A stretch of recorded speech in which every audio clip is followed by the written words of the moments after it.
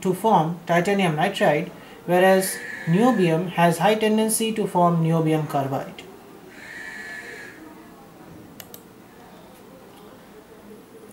Now we move on to the bake hardening that is the BH steels. The bake hardening involves the static strain aging response. Basically the bake hardening I should rather say is a controlled static strain aging response and it involves the two phenomena. The first phenomena being that of dislocation pinning wherein the carbon and nitrogen act as the dislocation cores whereas the second phenomena is the precipitation hardening which involves or which requires I should rather say initial nucleation. In the bake hardening steels that is the BH steels after pre-straining and paint baking at 170 to 220 degrees centigrade there is bake hardening which increases the upper yield point in stress strain curve by about 30 to 50 megapascals.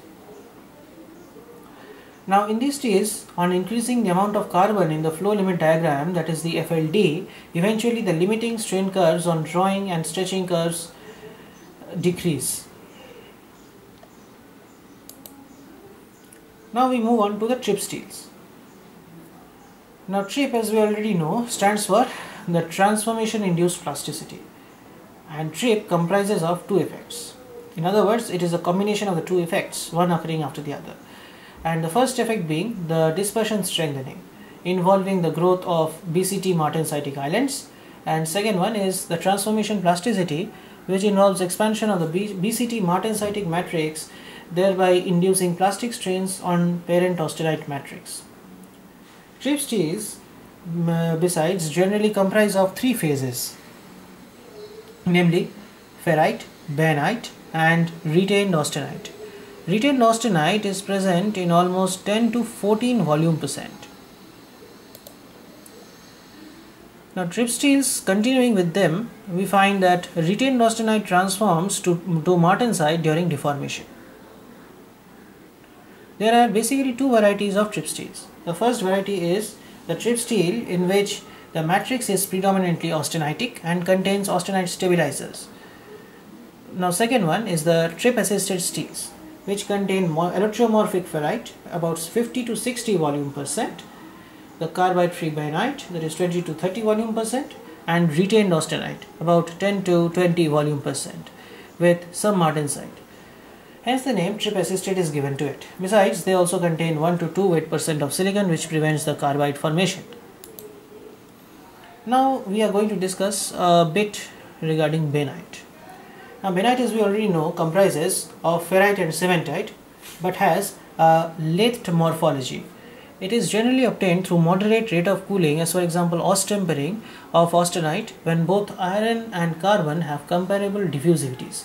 Unlike austenite to martensitic transformation which is almost uh, time independent and athermal in nature this is quite time dependent and isothermal transformation involving both shear and reconstructive transformations. Reconstructive transformation since there is an incubation period at bainite nose in the TTT time temperature transformation diagrams. Uh, however, there is no space for bainite in the CCT diagram as bainite is not obtained during continuous cooling from austenite. Now, it is stable at temperatures between 350 to 540 degrees centigrade. Uh, such that upper bainite forms in between 500 to 540 degrees centigrade. Acicular or granular bainite in between 400 to 500 degrees centigrade whereas lower bainite uh, in between 350 to 400 degree centigrade. During bainitic transformation of austenite leads obtained have almost 0.7 to 8 percent of carbon in them so at higher temperatures or I should say at high temperature ranges there is short range diffusion or the SRD of carbon from center to corners of lathe and as found in upper bainite. However, at lower temperature ranges, diffusivity of carbon is so less. I'm sorry, let's uh, move back to the previous slide. Uh, it is so less that uh, it remains concentrated in the center of the lathes. So consequently, we have uh, Widmanstätten morphology of bainite. And so we can say from this particular statement that upper bainites have carbides present in between the lathes and not concentrated within the laths whereas the lower bainite have the carbon content concentrated within the laths and not in between the laths. Now uh, the trip steels, in trip steels the martensite is obtained from uh, austenite uh, following a very high rate of cooling which is also termed as quenching. Now austenite cannot transform to martensite however unless the temperature of transformation goes below the martensitic start temperature um, at a given composition in the TTT or the CCT diagram. Now austenite to martensitic transformation thus occurs at a very low temperature wherein diffusivities of both carbon and, and iron are very less. Uh, thus the only mode of transformation is through shear so now it is not always necessary for martensite to possess a body-centered tetragonal or the BCT structure. For instance, maraging steels deriving their strengths from fine dispersions of microalloying elements like iron, titanium, nickel, etc. contain epsilon martensite having the HCP structure or the hexagonal close packed structure. It may also have a BCC or HCP structure the explanation whether martensite will possess the BCT or BCC structure is given by the tetragonality that is a C by A ratio which if greater than or less than 1 the BCT structure will be favored. In that case the martensite will be found to have the high carbon content. Otherwise if the ratio is almost equal to 1 generally the ratio practically is uh, say like uh, 1.01, uh, 1.02 and so on the BCC structure will be favored. In that case, the martensite has low carbon content. As martensite is a non-equilibrium phase, which is obvious from the iron-carbon binary phase diagram, so according to the Bain distortion model, the higher the carbon content of, of martensite, the more difficult it is to compress the C or the vertical axis and vice versa. As a result, uh, high carbon martensite has a BCT structure whereas low carbon martensite has a BCC structure. During this transformation, the C-axis compresses by about 20% whereas horizontal axis or the A-axis expands by about 12% resulting in a net increase in volume.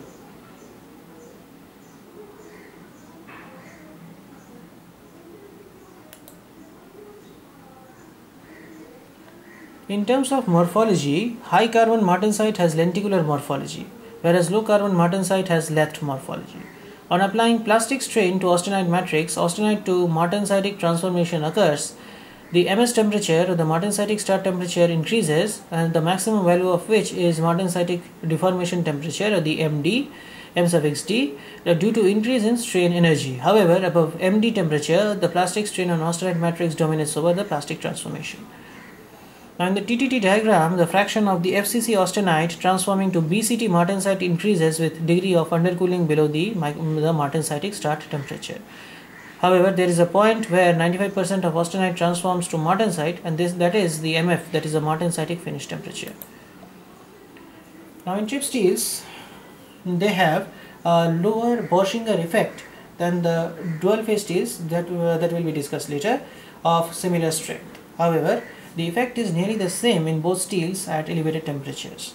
Now Bauschinger effect states that the yield stress associated with compression following tension is much lesser than the flow stress associated with tension. According to this effect, the barriers to dislocation motion are anisotropic after pre-straining. Although the zero of the flow limit diagram of both P uh, sorry of both trip steels and mild steels which are the plain carbon steels are uh, containing about 0.25 to 0.3 weight percent of carbon. And so they are uh, also called the 1025 to 1030 steels are nearly the same. Uh, however the trip steels tend to have higher flow limit on stretching side of FLD as compared to the mild, mild steels of same strength So dual phase steels, so the DP steels, uh, we can say like their composition first is as follows. The they contain carbon less than 0.2%, manganese less than 1.5%, silicon less than 0.3%, chromium and molybdenum uh, almost equal to 0.5% when taken all together. Now chromium and molybdenum are generally added to the DP steels for hardenability, that is the ability to, ability to resist the pearlite formation. At the same time, they have a primarily ferrite plus martensitic microstructure through a relatively simple thermomechanical processing and lean alloying. At the same time, they are formed uh, mainly through intercritical annealing, have a continuous yielding, and also they have a high ultimate tensile strength or the UTS and low initial yielding stress. I'm sorry, and low initial yielding strength it should be. They provide high early stage strain hardening and a macroscopically homogeneous plastic flow, which is enabled in absence of Luder's effects related to bands of plastic deformation in metals. Through manganese and carbon using the CEQ law of weldability, these steels are quite weldable in nature. Now through tempering, hardenability may be improved in DP steels as these steels initially have uh, almost about 0.28% of carbon and so high strength which has a sort of inverse relationship with bendability. Here the Hall-Petch slope increases with increase in volume fraction of martensite. Initially when the Hall-Petch behavior was determined a straight line was obtained in between the Vickers hardness plotted along the y-axis and and grain diameter plotted along the x-axis. Also, the same behavior was observed by plotting the yield strength along y-axis and grain diameter along the x-axis and it was estimated that 0.33 times of Vickers hardness was almost equal to the yield strength of the material. Thus, yield strength increases with grain refinement which gives them the future motivation for producing the ultra-fine grain DP steels. For DP steels, the properties are controlled by the martensitic volume fraction Vm, martensitic grain size Sm, the martensite uh, carbon content that is Cm, capital Cm, martensite or ferrite morphology, ferrite grain size Sf, ferrite texture, then density of transformation, induced geometrically necessary dislocations that is GNDs, micro and mesoscale segregation, and chemical decoration state of the hetero interfaces.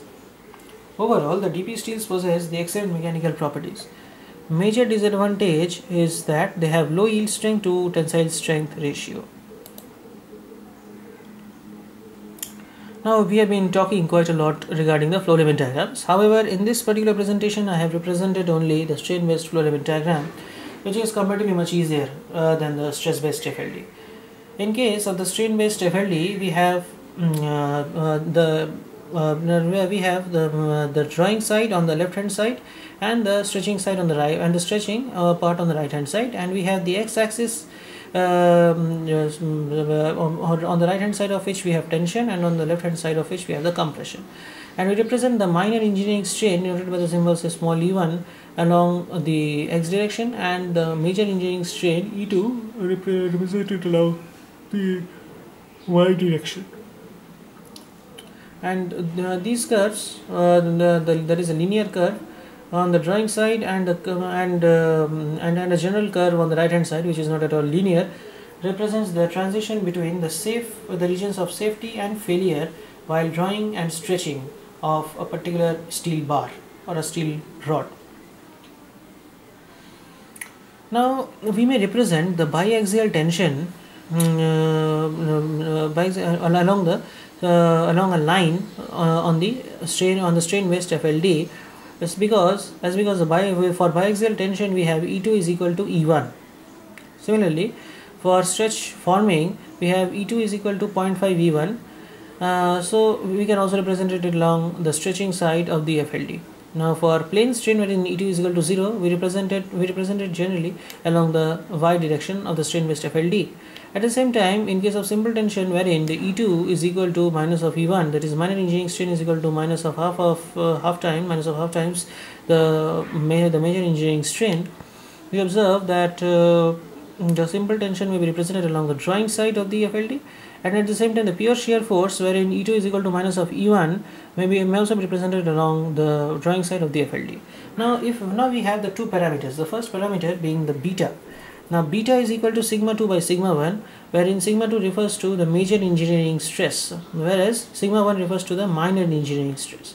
And at the same time we have the major engineering strain E2 and the minor engineering strain that is E1 so if we have beta beta is equal to sigma 2 by sigma 1 wherein if we have alpha we have then alpha that is equal to minus uh, that is equal to uh, E2 by E1 so for biaxial tension we have alpha is equal to plus 1 for stretch forming we have alpha is equal to half plus half. Uh, then for plane forming, sorry for plane stretch, uh, for sorry for plane strain we have alpha is equal to 0 For simple tension we have alpha is equal to point, minus of half or minus 0.5 and the for pure shear force we have alpha is equal to minus of 1.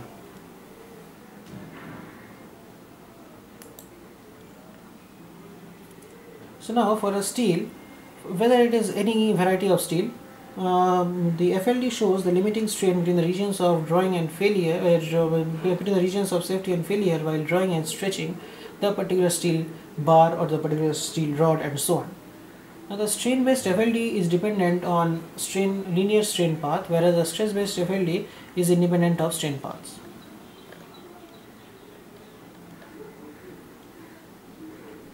Now we move, we move on to the TWIP steels. So for the TWIP steels, we, uh, we should first discuss its composition.